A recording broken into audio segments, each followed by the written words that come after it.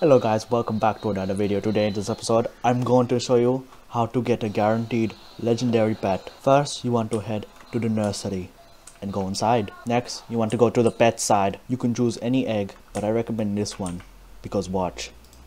You buy it, go into your inventory. It's a legendary. That's how you get legendary.